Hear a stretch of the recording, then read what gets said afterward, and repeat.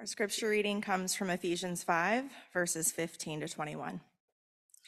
Look carefully then how you walk, not as unwise, but as wise, making the best use of the time, because the days are evil.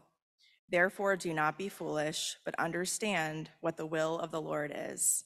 And do not get drunk with wine, for that is debauchery, but be filled with the Spirit, addressing one another in psalms and hymns and spiritual songs singing and making melody to the Lord with your heart, giving thanks always and for everything to God the Father in the name of our Lord Jesus Christ, submitting to one another out of reverence for Christ. This is God's word. How do you make the best use of your time? It's actually a pretty important question. What kinds of things are you filling your life with? Uh, you know, as you get older, you get a perspective on just what a precious commodity time is. And it's interesting as people grow in prosperity, uh, one of the lessons is that time is a pretty valuable resource. There's a lot of times we think the most important resource we need is money. And then at some point you realize there's pretty much always something you can do to get more money, but there doesn't seem to be things you can do to get more time. So as people uh, grow in their financial uh, uh, security, they start to realize that with the trade offs, they might be wiser to spend money to outsource a lot of things they're doing so they can make the best use of their time. None of us wants to just waste our lives, although uh, we're at a uniquely challenging time period where it's just easier to do that. It's easy to just pass the time staying engaged in something that's st- keeping boredom away, but that we know is not really valuable and is not giving us life. And so, if we're not using our time well, the byproduct of that is exhaustion, is emptiness. Rather than doing things that are uh, continuing to energize us, we could fill ourselves with things, uh, activities that drain us. We don't want that. So, in this passage, we're encouraged to make the best use of your time, make the most of your time. Uh, but there's a reason here. It says, because the days are evil. And so that's a complicated idea. Part of it is, okay, how do you make the best use of your time? There's the, the intrinsic motivation problems of I want to do things that I know are self destructive and harmful, and I know I shouldn't, but I still want to do them, and therefore I do them. And then I have these ideals of things that make sense that I know that I should do, but I just don't have enough of a desire to actually do them. And so part of the time wasting time is sort of the days being evil in terms of just uh, evil within our own hearts. Um, but part of the frustration of trying to make the most of use of your life is the world is a world that goes to war, and there are diseases, and there are accidents and disasters.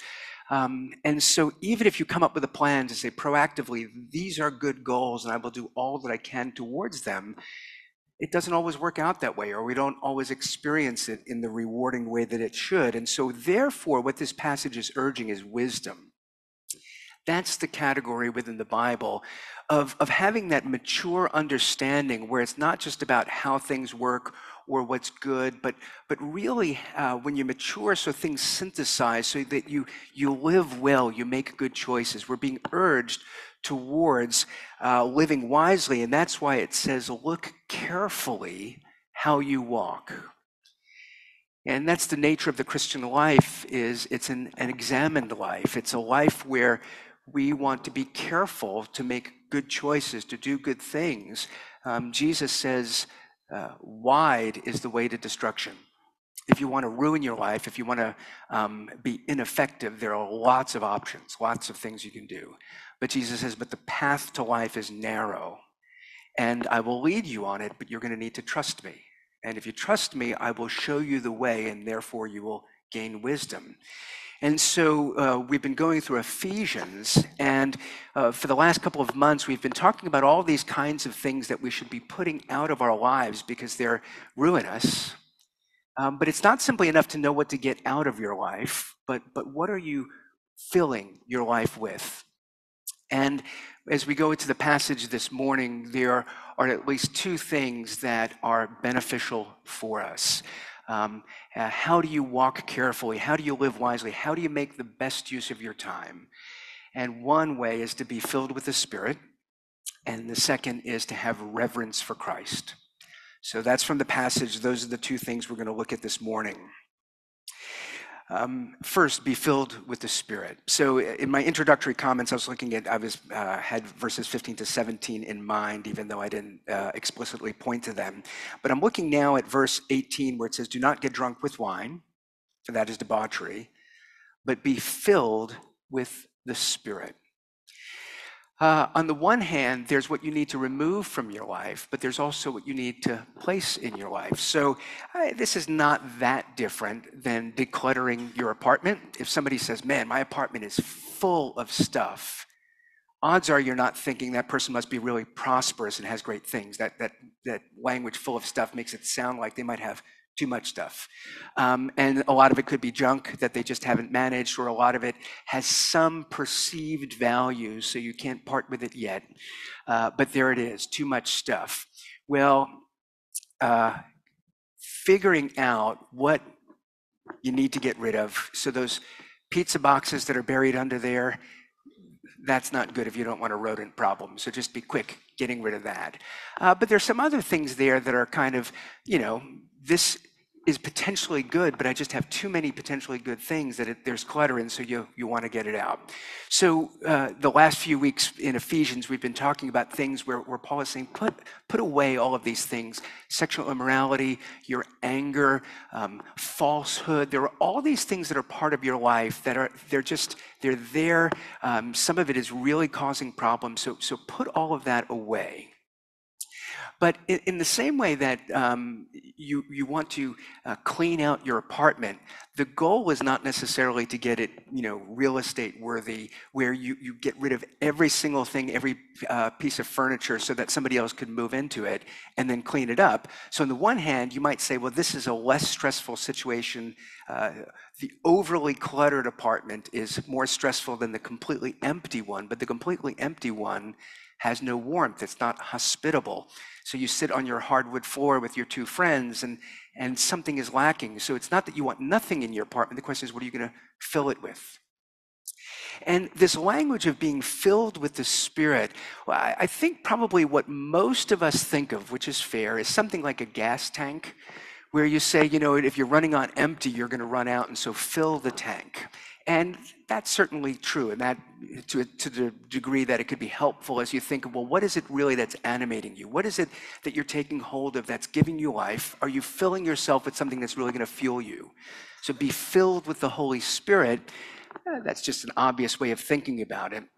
But if you go into some of the details when you think of a car, um, one of the reasons that analogy works for us is because it's also functionally how we live the spiritual life, which is, you know, there's a tank, you know, there's the place for God, there's the place for gas in the car. We want to fill that up, and we want it to do whatever it does to move us forward.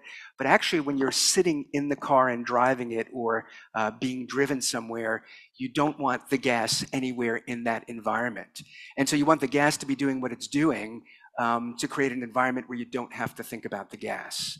And what happens functionally, some of us realize, okay, to really be sustained spiritually, I need the Holy Spirit.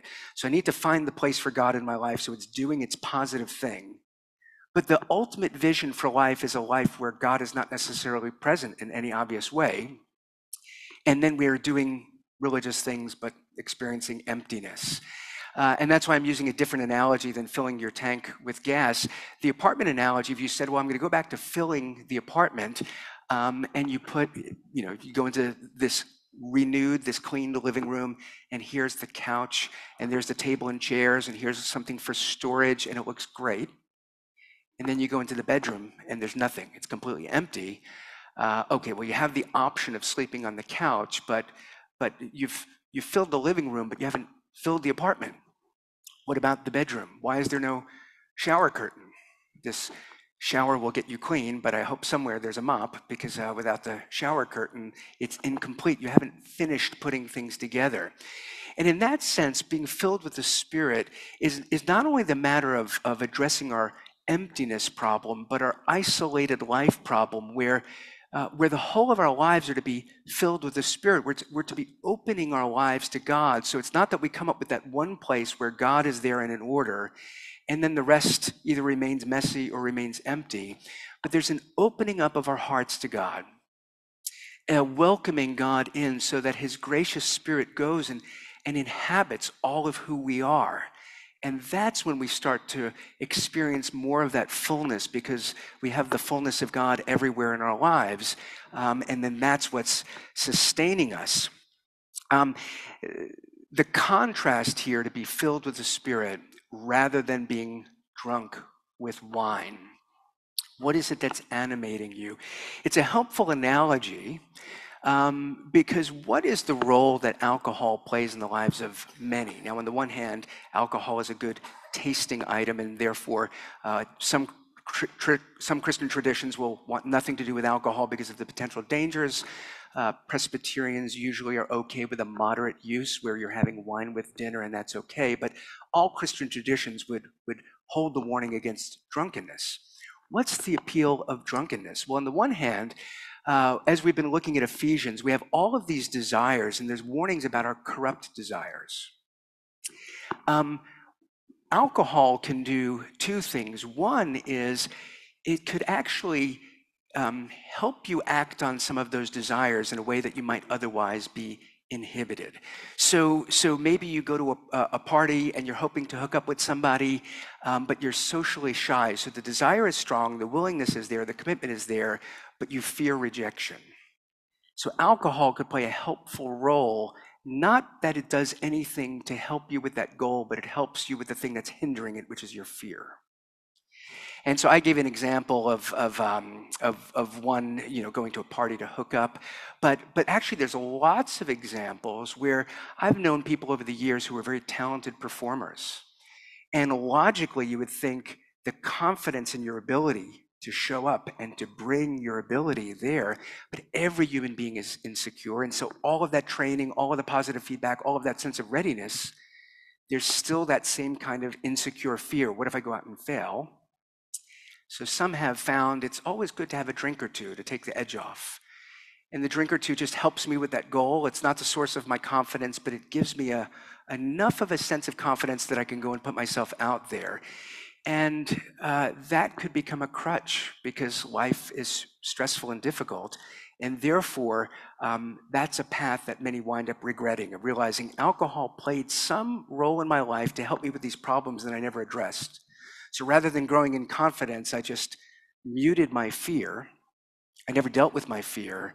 And as life gets more complicated, I need more help. And then all of a sudden, one or two drinks becomes three or four. And so it's something we know.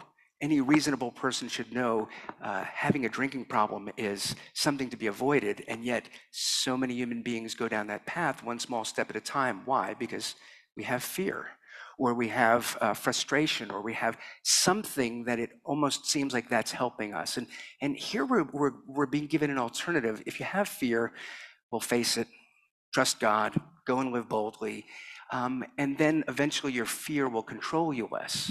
But don't just try to get rid of it. So, one problem, uh, or one of the examples of, of why uh, wine being contrasted here is alcohol could, could help you uh, could, could give you the perception it's helping you with your desires. Here are the things I want to do, but something in me is hindering me. So the alcohol is just going to help me in some way get that.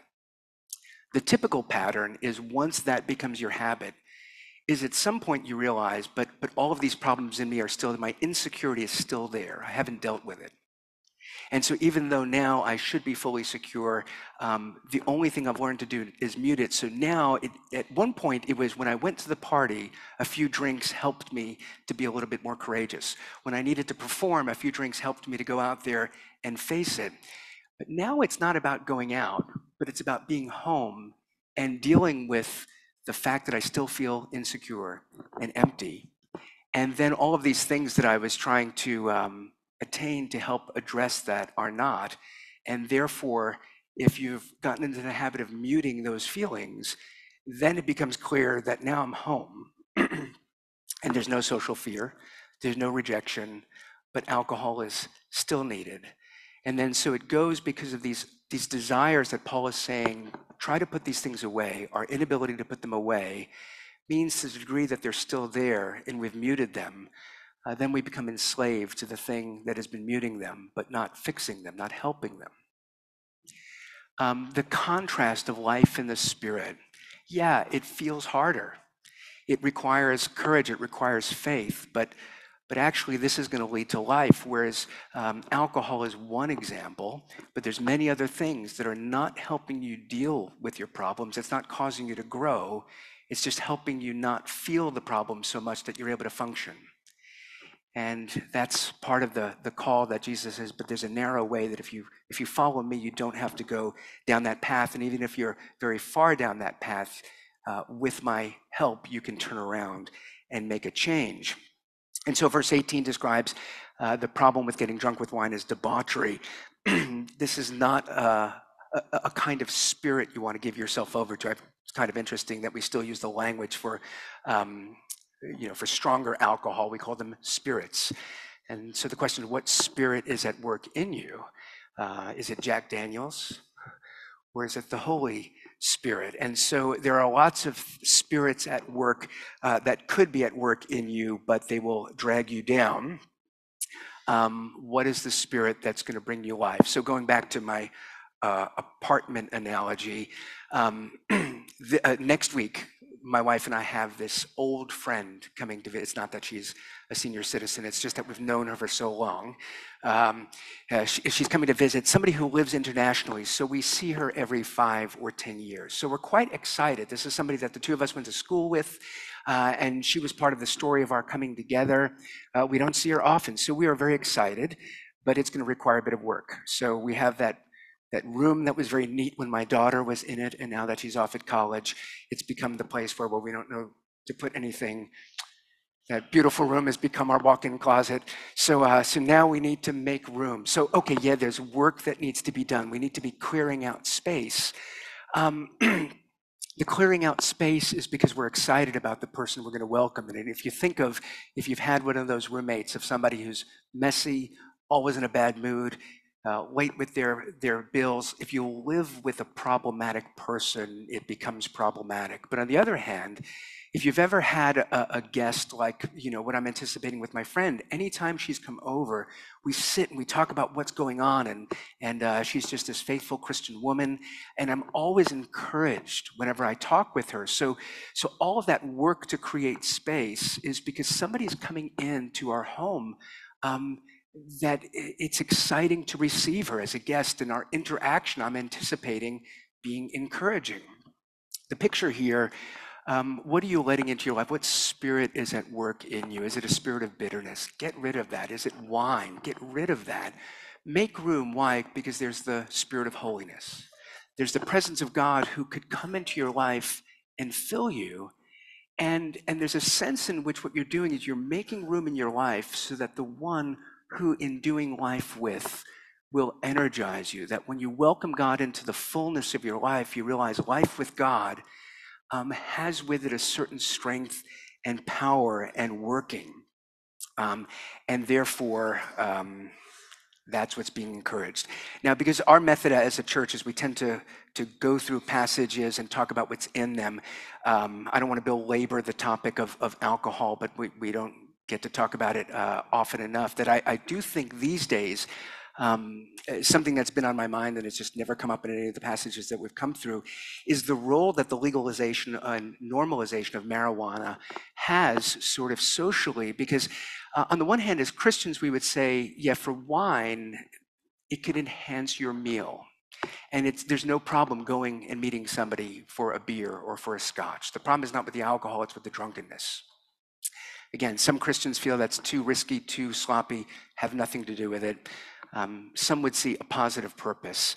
It's harder to conceive of a positive purpose for marijuana outside of something like medical. And so if it's if it's uh, if it's a medical use, it's not that that uh, marijuana is fully uh, put aside. But in terms of social uses, what purpose is there? Well, it seems to be more aligned with the the wanting to feel good. And sometimes it's the positive of just this makes me feel better than I feel, but sometimes there's, there's a difficulty that this is helping manage. And the, the approach of wisdom from this passage is uh, it's not that one having marijuana once, or even if you're having it once a month, that that's utterly going to ruin your life, but you're making space in your life for something that uh, clearly has a negative impact in terms of if you're smoking it, not good for your lungs, in terms of uh, you know uh, studies on, on impact on the brain, all sorts of negative kinds of things.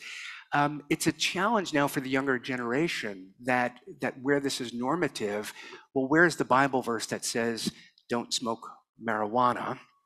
And uh, there's not an explicit commandment, but there's the approach of wisdom that would say, well, what is it that's really you're bringing into your life and for what purpose? And so, for example, the kinds of people that have the experience where where all of a sudden, you know, that first marijuana experience or the second, you, you finally feel um, at peace. That actually could be indicating you might want to go and talk to your doctor and say, actually, I had this experience where, where uh, I never knew just how, uh, you know, maybe the difficulty in my mind with the stress, whatever the case is, all of a sudden I had something that gave me a, a momentary experience of peace.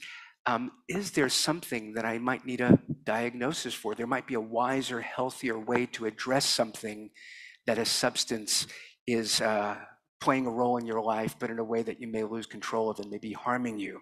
So I think what's normative for Christians would be to say, um, marijuana is likely to have a very negative impact in your life. And why would you want something that could potentially bring you down a path of enslavement and do damage to you when there's a path that appears more difficult but actually is healthy and life giving? And so that contrast of not getting drunk with wine, you can sort of uh, spread that out to any other uh, areas where you say, yeah, here's some here's some depend something that I could become dependent on that is giving me immediate relief, but is not actually helping me face my problems and fix it. That should make you suspicious about it. Anyway, uh, the more important question is how to be filled by the Spirit. Um, I'm going to give you three quick things before moving on to the second point. One of the issues with being filled with the Spirit, one of the things that that uh, why alcohol seems more appealing is you know what to do. Just go to the store, buy it, and drink it. How, in my current situation, can I be filled with the Spirit when it's relational? You can't make God do anything. Um, are you supposed to just sit there and passively wait for it? Well, here are three things. One is, well, you can't control God. You can't make the Spirit come and work. Uh, the Spirit often comes in surprising ways when we haven't asked for it and when we're not expecting it. But the Bible encourages us to ask.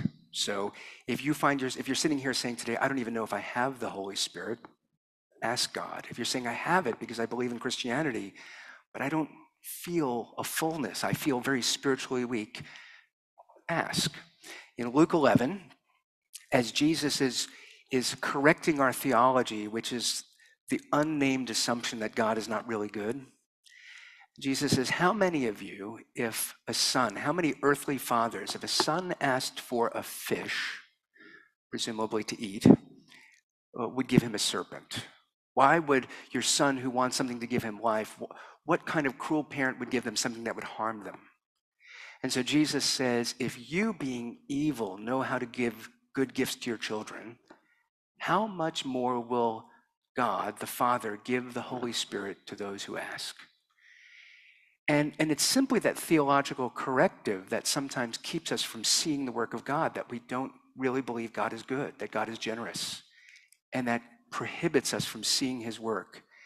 And that turnaround to say, if you being evil can do good, why do you assume God is so stingy? So believe in his goodness, and if you want the Holy Spirit, ask for it, and then wait on him and watch. So the first thing is ask. Secondly, welcome the Spirit. Um, part of spiritual life is attention. It's attentiveness. It's it's awareness. Part of it is uh, not simply believing with our minds that God gives the Spirit, but but um, seeking to see by the Spirit, live by the Spirit, where then there's a certain way of being in tune with what's happening in the world, that you look for what God is doing and you pray that God would give you the Spirit, and then you watch and you find that God is starting to show you things. And so one of the things you do is you welcome the Spirit and you uh, allow the fullness of your Spirit, uh, the fullness of God's Spirit in your life to sustain you. And here's a third thing you can do, which is to walk in the Spirit. Sometimes we use the language of leading in the Spirit. What, what Paul is saying is in, in Ephesians is you have desires you know are not from the Spirit. There's something you long to do that your conscience is telling you this is a bad idea. Well, you need to learn not to be listening to every spirit at work in you, but you need to humbly pray and come to know God so that it becomes more intuitive. So when you say, here's a thing that, that I feel like doing, and it's exactly the kind of thing Jesus would have done. So this may be the Spirit leading me. And so those are the things I'm going to do. I'm going to make choices. This thing looks like something that's an opportunity to bring honor to God, so I'm going to choose to do it. This is something that doesn't feel right, so I'm going to choose not to. Uh, and that's where then, as you're growing, you could discern more and more the power and the leading of the Spirit, and your life grows in wisdom. So, what do you need to make the most of, use of the time? Uh, one is to be filled with the Spirit. Uh, the second, and the next thing I'm going to talk about, is reverence for Christ. This is also something that's very important in how we experience life. Now, the word to revere in this passage, so I'm, I'm, now looking at verse 21, where it talks about submitting to one another out of reverence for Christ. The word reverence there could be translated various ways, including the, the word fear. Now, I think reverence is the, pro, the appropriate translation because when we think of fear, what do we think of? There's, there's at least, in, as a generality, two kinds of fear in the Bible. There's the negative fear, where, where you dread something because, uh, you, because it's so terrible. But then there's that positive fear, like in the Proverbs, where it says, the fear of God is the beginning of wisdom. Well, it's not to think that God is so mean and cruel that in his power he will destroy us, but to believe that God is so good so that in his power he will help us. That kind of fear renews us. So when it says to submit to one another out of reverence for Christ, uh, it's bringing in the language of the wisdom tradition. Don't be foolish, but live wisely, walk carefully, and therefore, the fear of the Lord uh, becomes sharpened in the scriptures as Jesus comes. And we're to not fear him as though he's terrible and angry and untrustworthy, but because he's so good and so remarkable that there's something that should excite us to, uh, to be in his presence and the more that we know of him. And so, so some of the marks of having that reverence in verse 20, that giving thanks always and for everything to God the Father in the name of the Lord Jesus. So that's the reverence we have that Jesus is so good. And I understand what Jesus has done and how uh, the Spirit of Christ in me is so life giving that that will, will change that, that in all circumstances and situations, I'm able to discern something of God's presence and help so that I'm not left with only options to despair, but I'm left with options even to give thanks. So when something's going well, you don't think that it had nothing to do with God, but you recognize God's provision in however that worked out.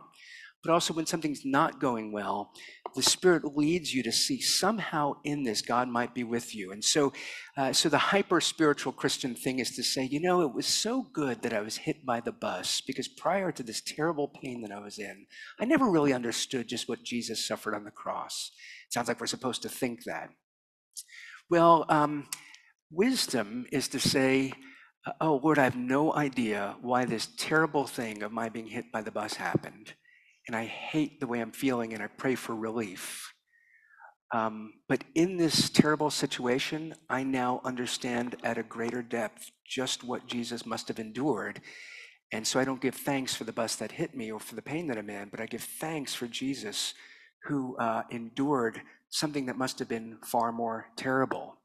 And so that's wisdom. Wisdom is able to deal with the complexity of situations where where it's not an either or of this is good or this is terrible, but we live in these evil days. And so, how do you make the best use of the time?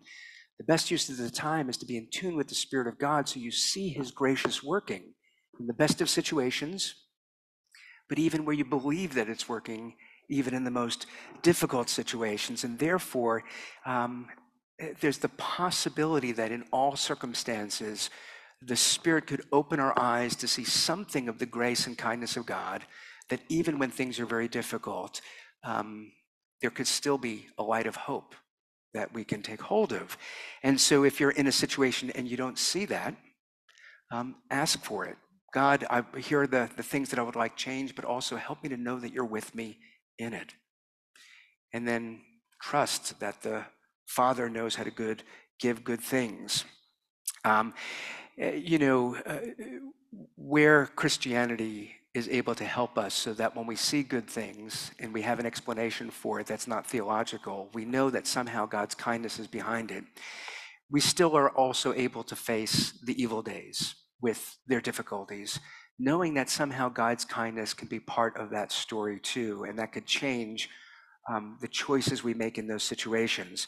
Um, Jesus himself, when he came to make God known, um, when he came to reveal God so that we would be able to see what God is like, uh, did so in a remarkable way, um, not simply by showing his wisdom and his teaching and his power and his goodness, but by entering into uh, days that are filled with evil and calling us and gathering us to follow him out of that.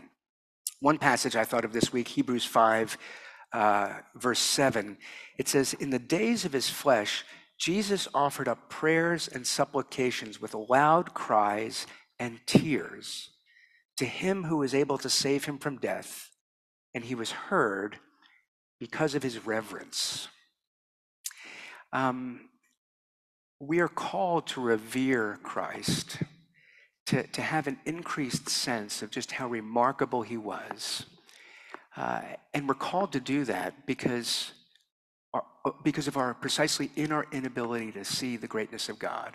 Because all we could see are the things we fear, or the things we hate, or the things that we greedily go after.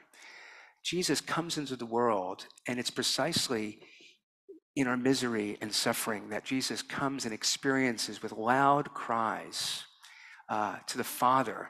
Uh, there he is, filled with the Spirit, and yet suffering. And yet, because of his reverence, he was heard. Uh, and because of his reverence, we will be heard. And that's the picture of the contrast of Jesus, who came in with loud cries, and yet within that um, was able to entrust himself so much to the Father that where Hebrews says um, uh, he was able to offer himself to the one who could save him from death.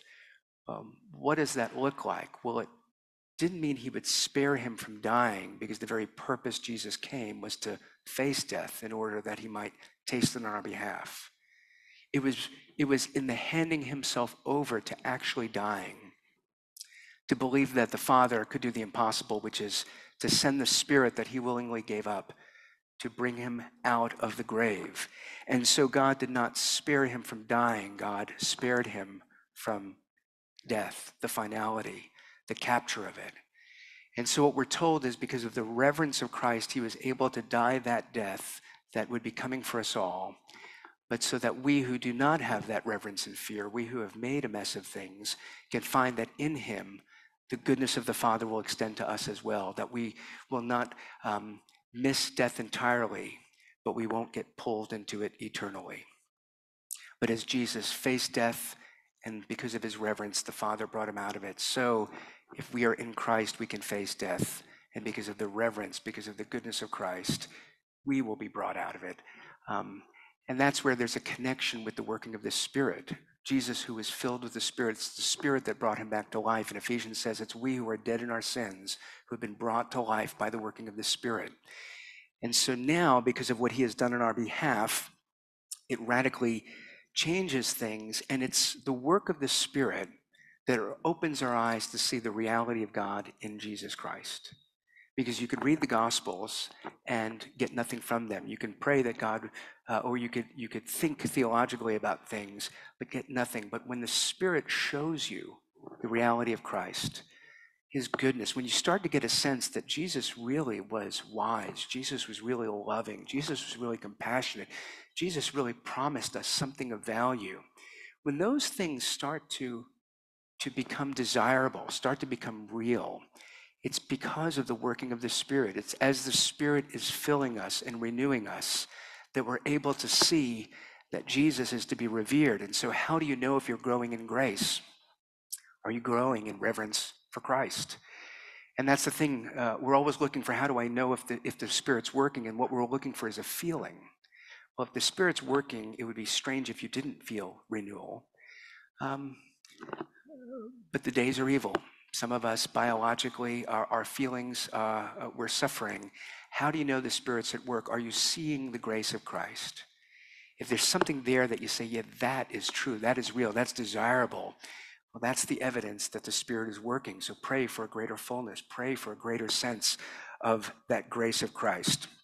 And so uh, here are two markers that you have reverence for Christ. One is God puts a song in our hearts. Um, when the Spirit is working in us, it says that we should be addressing one another with psalms and hymns and spiritual songs, singing and making melody to the Lord with your heart. When the Spirit works to renew our hearts so that we see something of the truth, something of the grace, it should, it should bring a song out in us.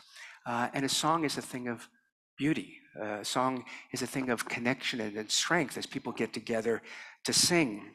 Uh, that's part of the church. Maybe church is not the most exciting gathering in New York, but to assemble people that have a spirit filled song put in their hearts, to come together and to say, we are going to remember the grace of God together, that actually, the more you have of that, the more you will have of true joy.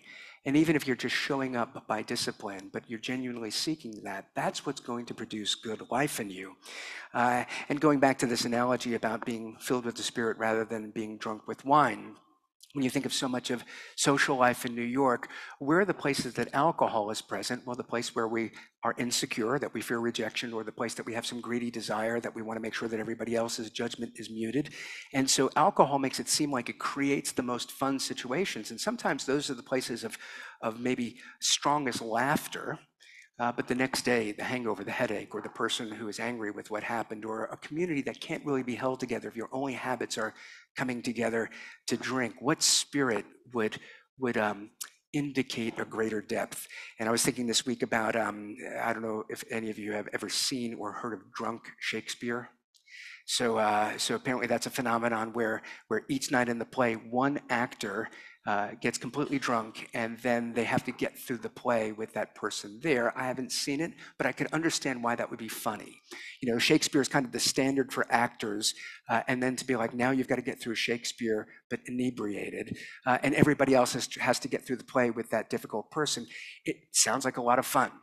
And it's caught on to these spin-offs of drunk history, but, but you know, why is that not spinning off to everything? Why is there no drunk New York Philharmonic?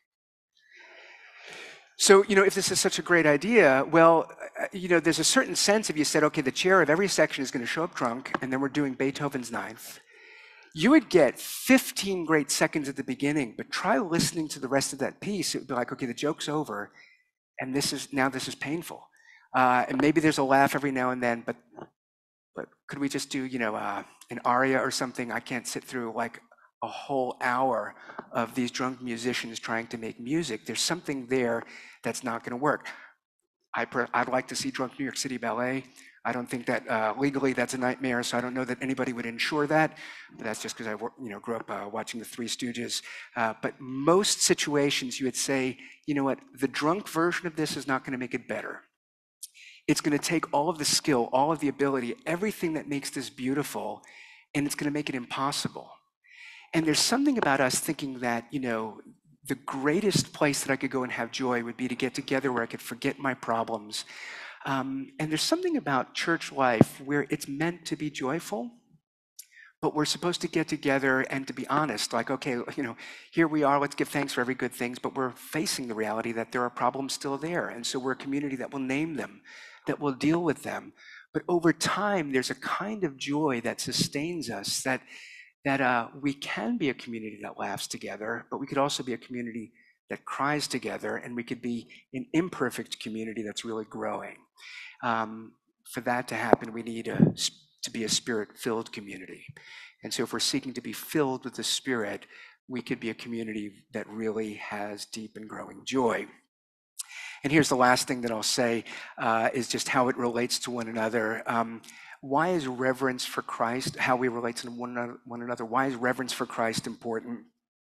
Well, verse 21 says that we should be submitting to one another out of reverence for Christ. And that's quite important. It, it doesn't say submit to people because you fear them, submit to them because they have titles, submit to them because they demand it. Your submission to them actually has less to do with them but it has to do with an attitude you have towards Christ. And this is the way of true freedom. And the reason I'm highlighting that now is because the next three sections in Ephesians give examples of why of, of how submission works out in daily life. And uh, that's a really hard concept. And it's a distinctly hard concept if we're making people submit to one another. Um, here, the, the picture is different because Jesus is so good because he submitted himself to death, because he revered God and suffered all things. You can trust him fully. So, out of reverence for him, that will change how you relate to everyone. And, and it creates the possibility of genuine freedom where somebody that you do fear that tries to bull rank on you, at the end of the day, you know that that person is accountable to God. And so as you make your choices to how you respond to that situation, you make your choices not in relation to them and what they demand, but in relations to Christ and what's good. And where that works itself out in this picture of submitting to one another out of reverence for Christ, it's a picture of real humility. It's a picture of real love which, which allows imperfect people, um, because it's easy to submit to one another when everyone is nice and kind and generous and things are going well. Then this principle is easy to enact. All it takes is one person to do something wrong, and then it starts to feel unfair, it starts to feel dangerous. The picture here is that you should submit to no person because they demand it of you, but, but Jesus Christ uh, invites you to follow him, and if as you revere him, it enables you uh, to relate humbly in the same way that Jesus did. And it allows for a community of imperfect people because in the church we will fail. And if I'm submitting to you and you're submitting to me, and that's how it works, when something goes wrong, we need to call this off, and then everything crumbles. The possibility is if I'm submitting to Christ and you're submitting to Christ out of reverence, then we could submit to one another. Now one of us is not walking in the Spirit, but is walking in the flesh.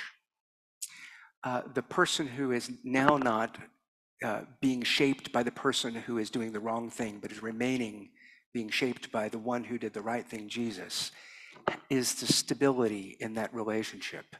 And therefore, for us as a church, we need to be prepared for things to go wrong. Christians fail. But to the degree that each of us, by the Spirit, has reverence for Christ, uh, the whole thing doesn't need to fall apart. But we could remain filled with the Spirit uh, and, and therefore we can humbly love one another. We're going to talk about that more in the upcoming weeks, so that's all I'll say for now. But uh, I just want to say that those two things, if you're looking to make the, the best use of your time, be filled with the Spirit and have reverence for Christ, and you will see the power of God's gracious working, producing good things in your life. Let me pray for us. Our Father, um, we need this gracious working of your Spirit, and so we ask for it. We ask for your Spirit to work in power uh, in our lives, in the fullness of our lives, to renew our hearts and minds, to align everything according to your will and your ways, and to cleanse us from everything that's holding us back.